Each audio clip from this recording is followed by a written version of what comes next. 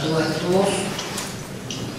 Yo quisiera en primer lugar agradecer al profesor eh, Manuel Muña la invitación que me ha sido extendida,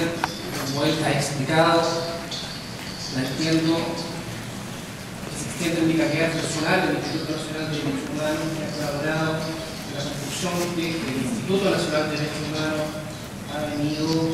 entregando a la opinión pública y a los diversos órganos del Estado a través de su informe anual. Así que este, para mí es un verdadero placer, un verdadero orgullo poder estar en esta casa de estudio poniendo una breve síntesis de lo que son los estándares internacionales de derechos indígenas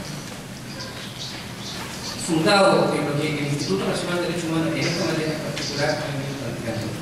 Permítanme también señalar brevemente, sean cinco minutos, qué es el Instituto Nacional de Derechos Humanos en ese marco, cuál es la opinión que ha ido construyendo en esta materia. El Instituto Nacional de Derechos Humanos es una corporación autónoma de derecho público, que la ley 2405.